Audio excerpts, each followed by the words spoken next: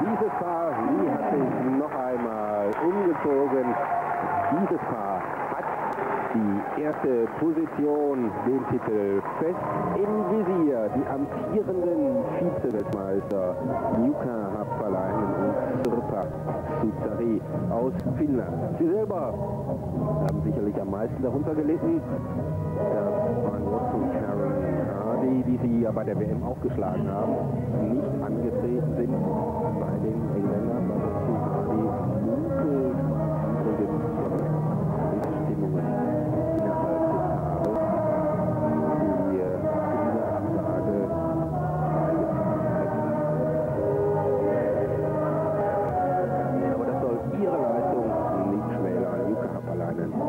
und Sutsari.